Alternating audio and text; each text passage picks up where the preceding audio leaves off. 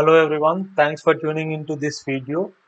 Uh, in the last video we have discussed about giant magnetoresistance uh, in detail. And now we will see types of GMR and its applications.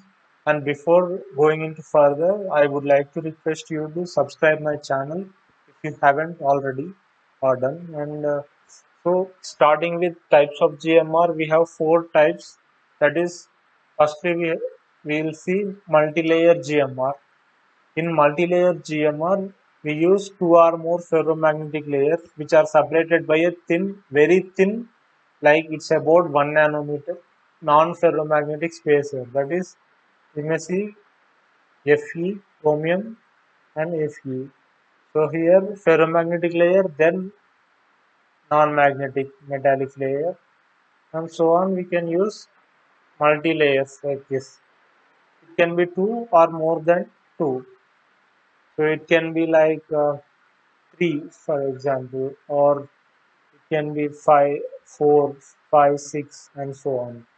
Now at certain thicknesses we get uh, the RK-KY coupling between the adjacent ferromagnetic layers uh, becomes antiferromagnetic and this will make energetically preferable for the magnetization of adjacent layers to align in anti-parallel. So here RK-KY coupling is nothing but uh, it is the uh, mechanism uh, by which the coupling occurs between localized inner d or f shell electron spins uh, that is in a metal. This happens by the interaction through the conduction electrons. So that's the case and it will energetically preferable for the magnetizations of adjacent layers to align in anti-parallel. And in this case the change in resistance could be up to 10 percent.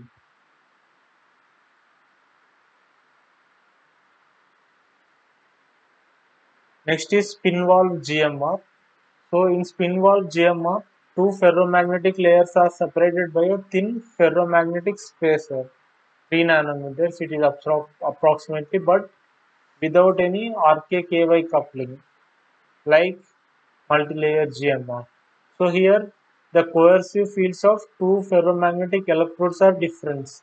different. Uh, so it is possible to switch them independently as the coercive fields are different. And here in this it is possible to measure and adjust the strength of magnetism between the layers. So that we can do in spin valve GMR. And in next is a pseudo spin GMR. Like you may see in the diagram here we are using uh, two ferromagnetic layers one is hard magnetic that is that is it is more uh, ferromagnetic and the other one is soft so here hysteresis loop is large for hard material and small for soft magnetic material so pseudo spin valve devices are very similar to spin valve structures like before but here that is significant difference is the coercivities of ferromagnetic layers are very much different. So here in a pseudo spin valve structure, a soft magnetic will be used for one layer and uh, whereas hard ferromagnetic will be used for the other. And uh, this will allow the applied field to flip the magnetization of one layer.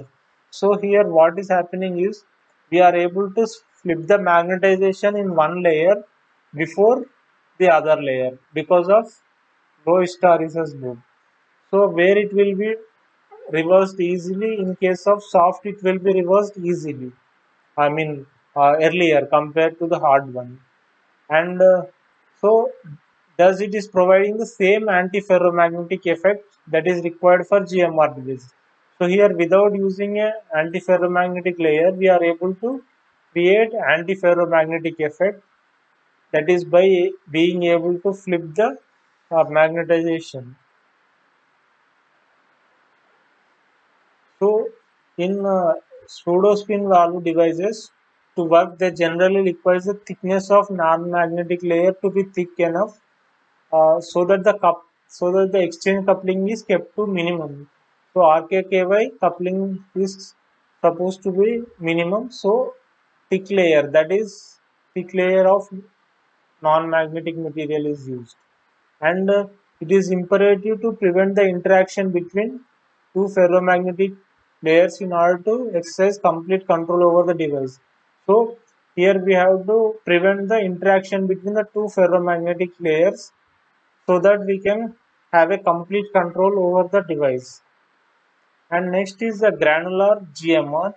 This granular GMR is, is an effect that occurs in solid precipitates of magnetic material in a non-magnetic matrix. So here the it's like composite. In composite we have reinforce and uh, reinforcement and matrix. The matrix is non-magnetic whereas magnetic materials are reinforcing material. So here the matrix is shown in the green color and uh, red ones shows the reinforcing that is magnetic materials. Now, granular GMR has been observed in matrices of copper containing cobalt granules. So here copper is a non-magnetic material, cobalt granules are magnetic material. So here we may think that this green color represent copper and this red ones represent cobalt granules. So granular GMR was observed in this material.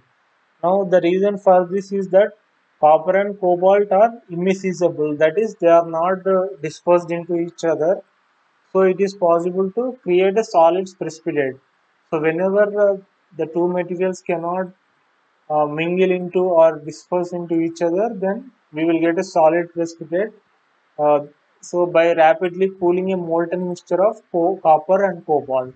Now here granular sizes vary depending on the cooling rate. So when we are cooling the this molten of uh, cobalt granules and copper based on the cooling rate we get the size of these granules and also the amount of subsequent annealing and the granular GMR materials have not been able to produce the high GMR ratios as in the case of multi-layer counterparts.